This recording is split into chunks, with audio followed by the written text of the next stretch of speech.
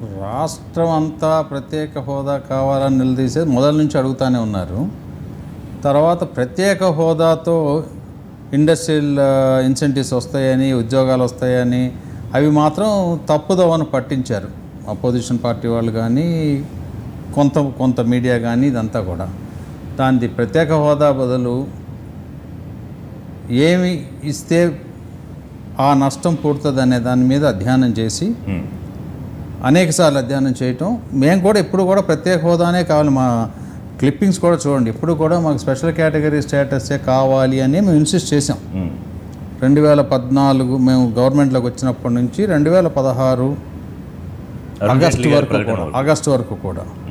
ఆ తర్వాత పూర్తిగా ఇన్డెప్త్ స్టడీ చేసి ప్లానింగ్ కమిషన్ను తీసేసి నీతి ఆయోగ్ రావటం తర్వాత ప్లానింగ్ కమిషన్ పెట్టినప్పటి నుంచి నే తీసేసే వరకు జరిగిన పరిణామాలు తర్వాత రఘురామరాజన్ కమిటీ రిపోర్ట్ చదివి తర్వాత స్పెషల్ కేటగిరీ స్టేటస్ని ఒరిజినల్గా నైన్టీన్ సిక్స్టీ నైన్లో ఇంట్రడ్యూస్ చేసినాక జరిగిన పరిణామాలు ఏమిటి వేరియస్ రాష్ట్రాలకు వచ్చిన లాభ నష్టాలు ఏంటి అన్నీ కూడా బేరీజ్ చేసుకొని రెండు వేల పదహారు సెప్టెంబర్ ఎయిత్న స్పెషల్ కే ప్యాకేజ్ కింద.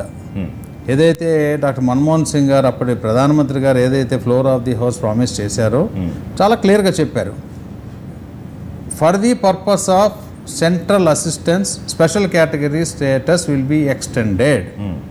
అంటే చాలా కేటగరికల్ అది. స్పెషల్ కేటగిరీ స్టేటస్ అనేది for the purpose of central అసిస్టెన్స్కి ఇస్తాము. అంటే నైంటీ టెన్. నైంటీ టెన్నే ఉండాలని లేదు. ఇప్పుడు నార్త్ ఈస్టర్న్ స్టేట్స్కి రకరకాల నీతి ఆయోగ్ రికమెండేషన్ ప్రకారం కొన్ని నైంటీ టెన్ చేశారు కొన్ని ఎయిటీ ట్వంటీ చేశారు కొన్ని ఫిఫ్టీ ఫిఫ్టీ కూడా చేశారు. కానీ అదంతా చూసుకొని ఆ విధంగా ఇస్తాము అని అంటే మేము కూడా సరే అయితే ఏదన్నా కానీ మనకి రాష్ట్రానికి నష్టం జరగకుండా ఎందుకంటే ఇప్పుడు మన ముఖ్యమంత్రి చంద్రబాబు నాయుడు గారు ఆయనకున్న ఎక్స్పీరియన్స్తో ఏ ఒక్క రూపాయి కూడా రాష్ట్రానికి నష్టమయ్యే విధంగా మాత్రం ఆయన ఎమర్లుగా